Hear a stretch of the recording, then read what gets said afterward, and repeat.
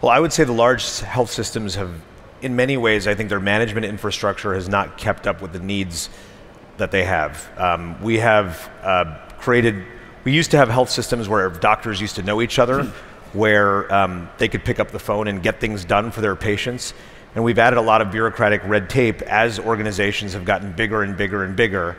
And so the average clinician feels anonymous, and I would say even invisible, and I dare I say lonely uh, in, right. a, in a healthcare system uh, because they don't necessarily feel like they have you know, agency or even mastery over their work anymore um, because it's been made complex. And it's been made complex in ways that aren't necessarily value added for patients.